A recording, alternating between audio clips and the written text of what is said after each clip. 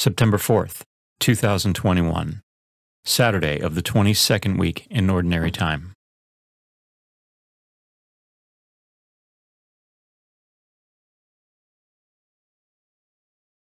A reading from the letter of St. Paul to the Colossians.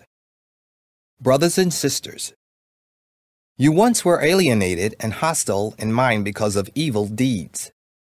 God has now reconciled you in the fleshly body of Christ through his death, to present you holy, without blemish, irreproachable before him, provided that you persevere in the faith, firmly grounded, stable, and not shifting from the hope of the gospel that you heard, which has been preached to every creature under heaven, of which I, Paul, am a minister.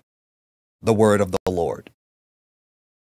The response is God Himself is my help. O God, by your name save me, and by your might defend my cause. O God, hear my prayer. Hearken to the words of my mouth. God Himself is my help. Behold, God is my helper. The Lord sustains my life. Freely will I offer you sacrifice. I will praise your name, O Lord, for its goodness. God Himself is my help.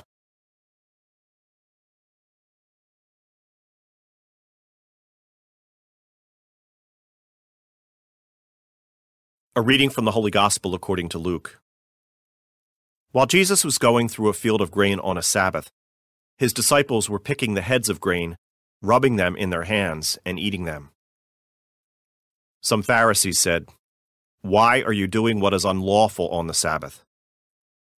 Jesus said to them in reply, Have you not read what David did when he and those who were with him were hungry?